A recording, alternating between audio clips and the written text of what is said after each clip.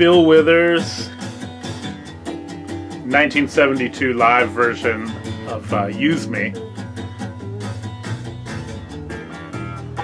And uh, thanks, Maria, for requesting this one. I'd never heard this until today. Awesome tune.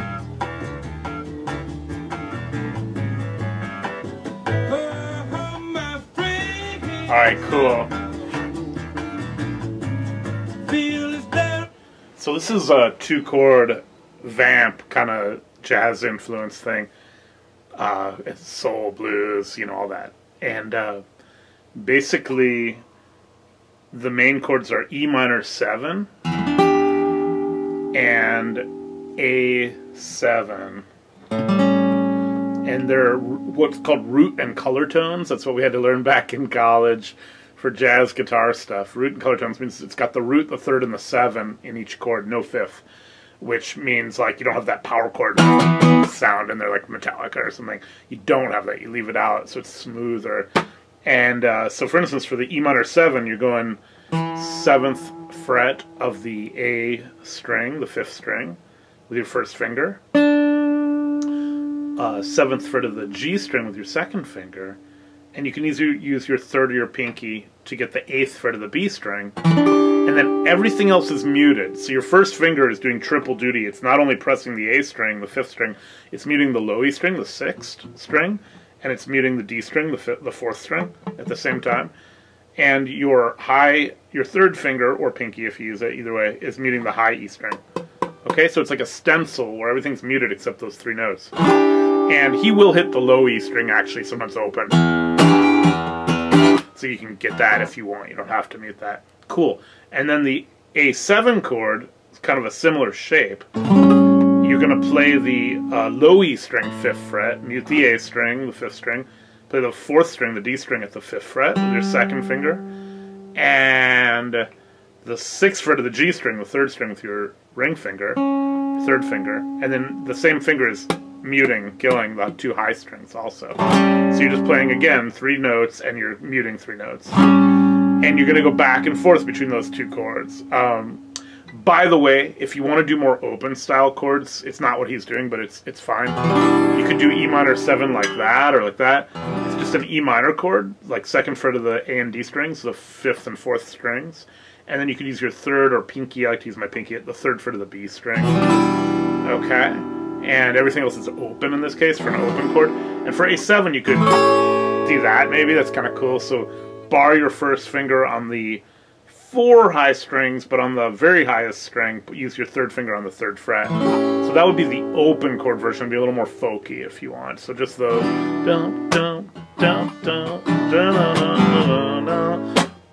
But I'm going to show you for now with what he does. And we're going to work on this rhythm really slowly. And so we're going to go um, four hits. Like, oh, by the way, before we get started, down, up, down, up, down, up, down, up, down, up, down, up, down, up, down, up. That's the underpinning. And Maria, we've done this before, but if you guys haven't done this, maybe someone else is watching YouTube land. Down, up, down, up, down, up, down, up. One E and a two E and a three E and a four E and a, okay? And so then you're gonna go, um, that's like the groove, that's like your funk strum. So if you're doing funk, hmm. That's kind of the underpinning.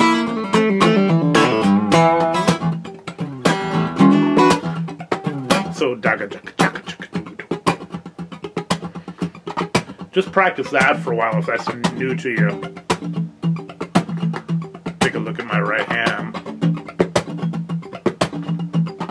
I'm even sometimes kind of aiming low, high, middle, low, low, high, middle, low, but just down, up, down, up, down, up, down, up, down, up, down, up, down, up, down, with the emphasis on the two and the four. Okay, that's the accent, two and the four.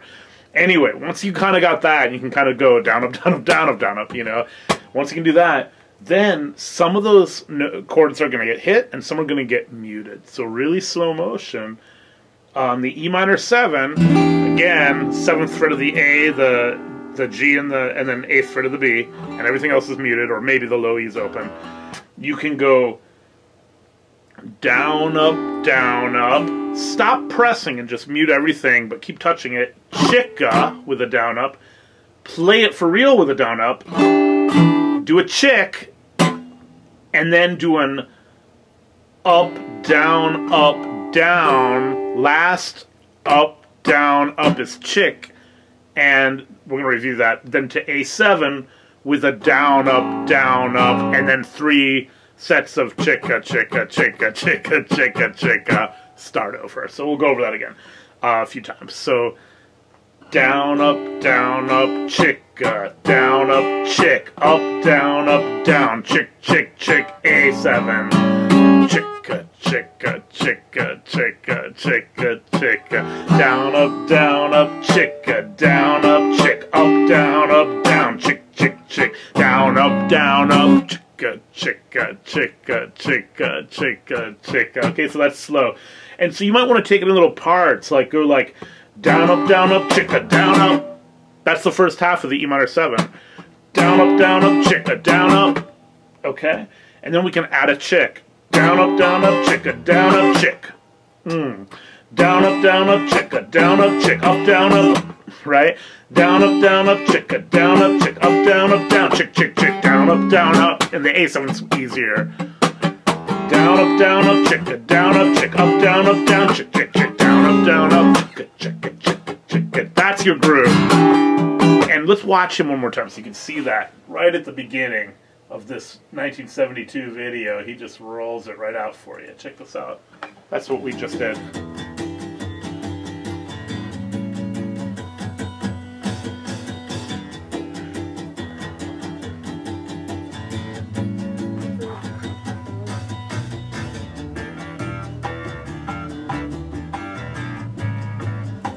That's a cool little riff. Why don't we do that just for fun? See if I remember that. Um, haha. so it's often E blues scale, E minor pentatonic, until the during the E minor part, and then during the A7 chord, he does a little arpeggio kind of part of the A7 chord, like the notes in the chord. So on the A string, fifth fret, um, and I think I'm going to pull it up here. Let's see if I can, uh, if I still have this. Yeah. I don't know if I'm going to have this on the screen for you guys, but I'll link to it. Um, so let's see. Let's see that. Well, whatever. There we go. So, okay. So we're going.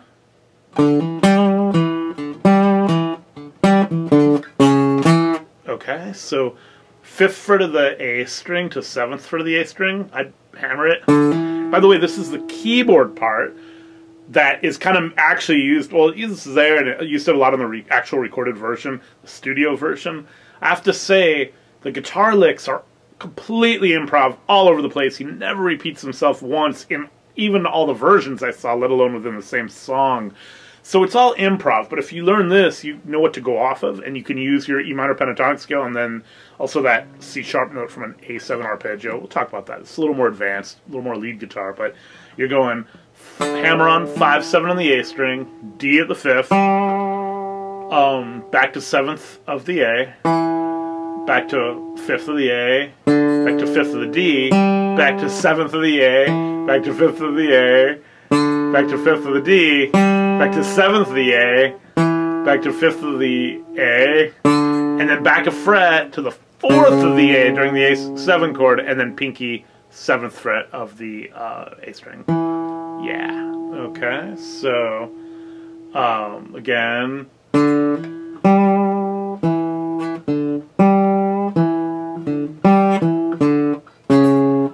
And then he does this quick little it's like a little ba da dum. You could just go 0 2 4 on the A string, is how they tapped it out here.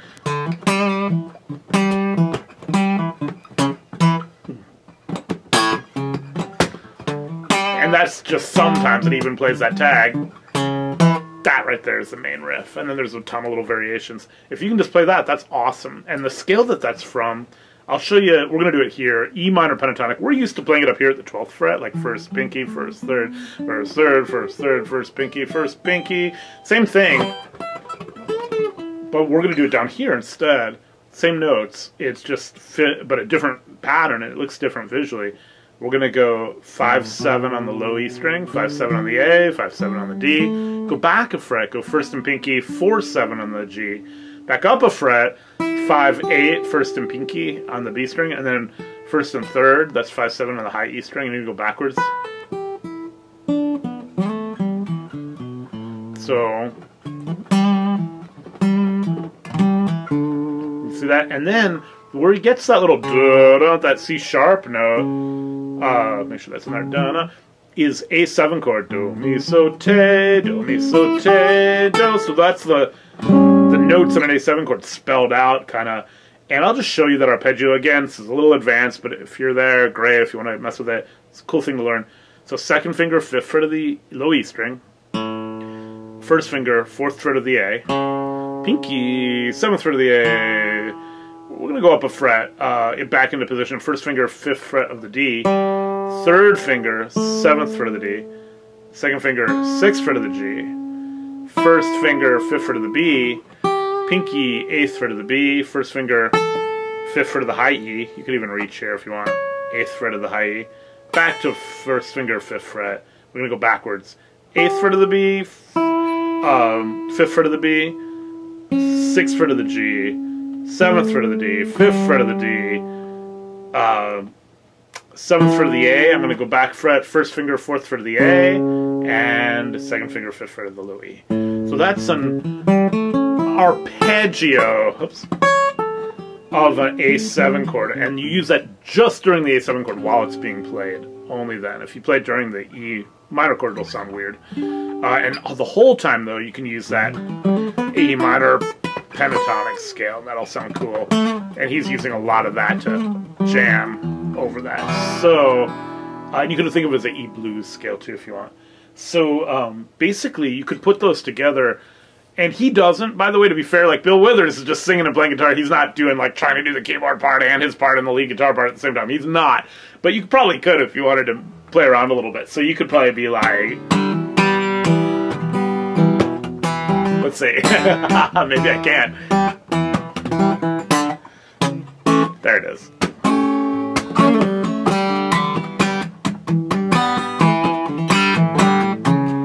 Okay that could be a lot of fun. And basically what I'm doing, like I'm playing it down here, or even, uh,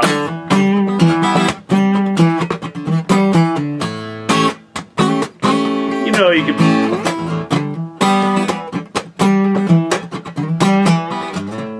hmm, I'm playing A9. Sometimes I noticed, by the way, I'm getting on a tangent, when he would do this A7 chord, in, sometimes he would accidentally on purpose maybe hit the B string, which kind of gives it the nine, and that's cool. And that's what I was doing up here. He's not doing that, but his lead guy might hit that once in a while. It's a A9 chord. So again, that's more for the advanced player who's watching this. Like, oh yeah, you could kind of go crazy with all that. Anyway, the main thing I would focus if you want to sing this and play it is just get those the rhythm. So I'm going to kind of revisit again, uh, even though we already did it. Down, up, down, up, chick, a down, up, chick, up, down, up, down, chick, chick, chick, down, up, down, up. And start over. That's the whole thing. Down, up, down, up, chick, down, up, chick, ga, ga, ga, da, da, da, da. I messed that up. Let's do it again. Again, down, up, down, up, chick, down, up, chick, up, down, up, down, chick, chick, chick, down, up, down, up. Let's do it one more time. Make sure I got it. I'm gonna go a little faster.